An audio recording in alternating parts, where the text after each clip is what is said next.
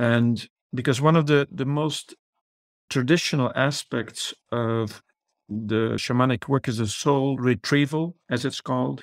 So the feeling is that when somebody has experienced some kind of trauma, which of course most people have on some level, but certainly if it's uh, intense trauma, that there is almost a piece of the initial energetic body that gets separated, like somebody who has been, say, in the war, like in Vietnam, many, many people came back and they had lost their soul, so to speak, because they did unspeakable acts. They had to do them. They were, they were, and then when they came back, they were also not really honored as heroes because many people, for a very good reason, were so angry about what happened in the Vietnam War. And so those who were not given treatment for that trauma, they many committed suicide, many became led very, very unhappy lives. And what's being more and more recognized today is that there is a lot of intergenerational trauma. The trauma of, of the at least the two previous generations, somehow by osmosis, the third generation still carries that.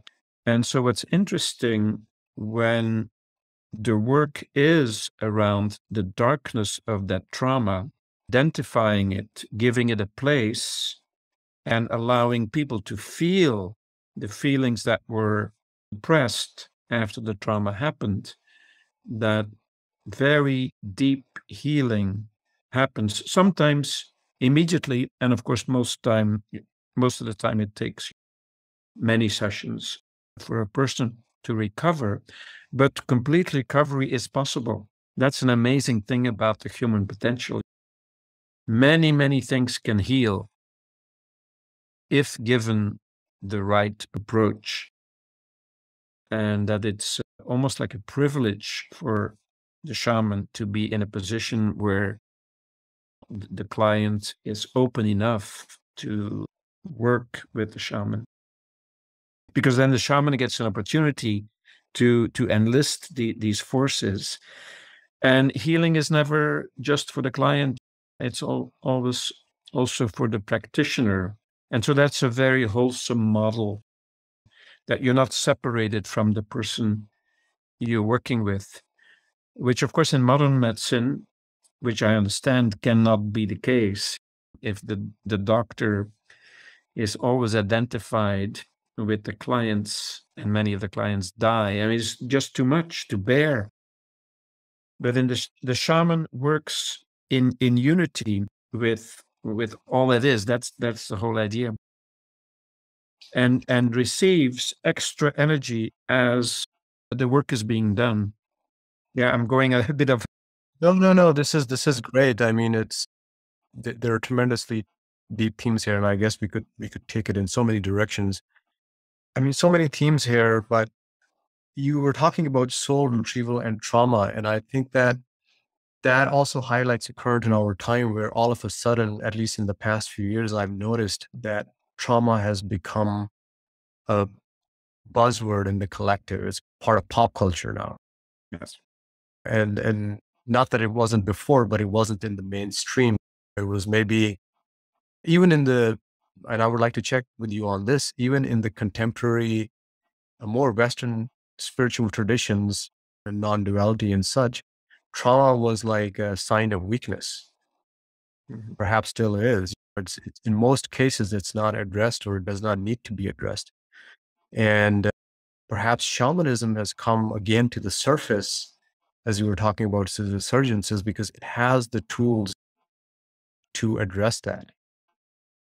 So I threw you a few balls here. If that triggers something, please take it.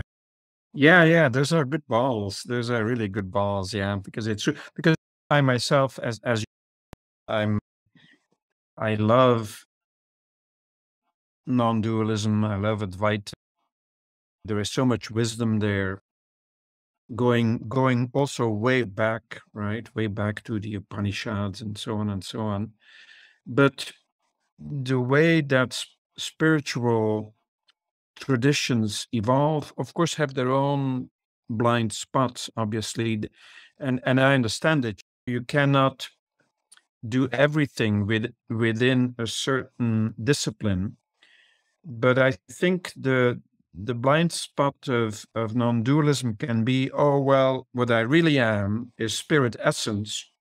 So I, I'm not gonna work on this trauma. Well, good luck. Good luck it's always going to have a force of its own and it's going to have repercussions in, in your daily life. Yes. And maybe for the viewers, Frank, if you could just uh, describe what non duality, maybe in, in other terms, because ultimately all spiritual traditions are non dual. But if somebody doesn't. Right. Yeah, that's a good point. That's a very good point. Because certainly shamanism is, is because shamanism feels that there is one spirit. They often call it Great Spirit or Wankantanka in the in the Lakota Sioux tradition, but also that that there is spirit in everything, in a blade of grass, in in a tree for sure, in a rock, in a mountain, in a stream somewhere, and then there is the sacred places on the planet, right, where people would love to go, like in India, right, Arunachal in the south of India, where yogis have gathered forever. So that that's a view of shamanism that the sacred is everywhere and sometimes is very concentrated in certain places, but that every single being is connected to source somehow. That there is no difference on, on that level. So I think that's a very, very deep insight. And as you mentioned, of all philosophical, well, maybe not philosophical, but spiritual traditions. At the, at the core of it, everything is one, and there is no hierarchy, really. And so, a, a good non dual teacher will try to remind people of that truth that we are one and that what we really really are is is not just the body, of course, is is you could say consciousness or awareness. That's a very, very deep, deep insight. And when a person is in in a retreat like that, certainly for me that has happened many, many times, or actually in any meditation retreat, the silliness of the mind constructs at some point are so obvious. And really at that point there are no no issues. The, the universe is as it is, and it's it's amazingly beautiful, actually. In the world, there is a lot of suffering that is also felt and seen, but it's also seen that it it shouldn't be like that, or it doesn't have to be like that. That's better way of putting it. It could be different. It's a choice that's in front of humanity. If humanity has collectively a different route to go, so be it, right? Yeah. But to but to come back a bit to the approach, then I believe that in order to be effective, the body also needs to be part and parcel of any approach. And of course, in certain in certain non-dual traditions, they do have yoga, non-dual yoga, and all of that, which is mostly the yoga of space, right? Or, or becoming one with the cosmos, right? That kind of yoga, not a yoga which is more body based, based in the sense of being able to do certain postures in a perfect way. Mm-hmm. Not like that. Again, there is of course room for that. And so in shamanism, through through the sound, through the drumming, through the sometimes the laying on of hands or or the finding where the obstructions are, and also where the what often happens in shamanic sessions is that something very unusual comes out of the patient or the client. They they start to sob and they have no idea why they're touched somewhere in the body and and then a memory sometimes comes up completely suppressed for most of their life, which is an amazing human ability when you think of it.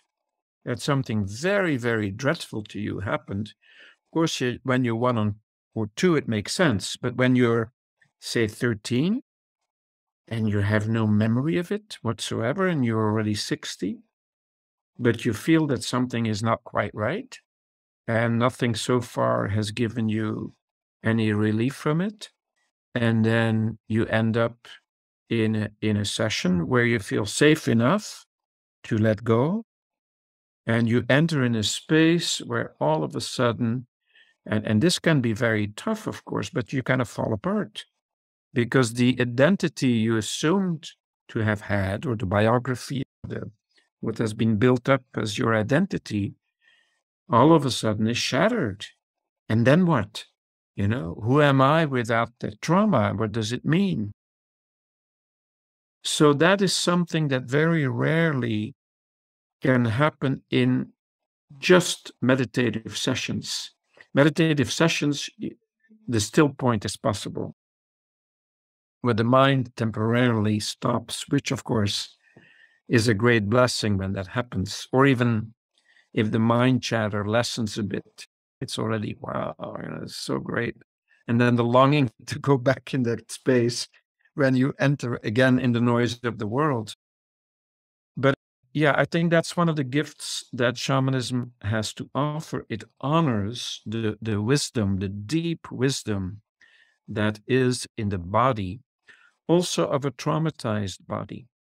There, there is a lot of wisdom there that, that has never gone away. But the direct contact with the healthy body has often been lost, and certainly with the healthy mind. Today's minds are overheated, right? Overactive. And I mean, I would include myself in that, in spite of all my practices, which I'm grateful for. But on occasion, my my mind is too active, right? Driving driving now in Belgium amongst all these trucks on the highways and the speed and all that. I'm happy when I'm home and then and then very quickly I relax. So so that's certainly something that I feel I have achieved a little bit is to go back to still point. Yes. But yes, this this has to be addressed if humanity wants to take its next leap, which is necessary. It's really it's it's felt by almost everybody that I know that the life as we know it, the structures as we know it, the um, violation really of nature, still the in in spite of everything, the dominance of patriarchy, where the feminine is not fully honored, the um, still today the disrespect of native cultures, the suppression of native cultures, the looking down on it, as if those people, not that there are that many native cultures left, because many have been eradicated, but the wisdom of those cultures is still available. And quite a few elders from those cultures are have made themselves available in the last, I don't know, 30 years or so. And they come they come forward. Shamans that have not been ever part of the mainstream world have come out. Sometimes with prophecies that are a bit doom and gloom, but certainly with wake up calls. Wake up, humanity. The time has come. The Time has come. Yeah, absolutely. Wow. Thank you so much, Frank. So, we were talking about the connection of trauma mm-hmm. and shamanism.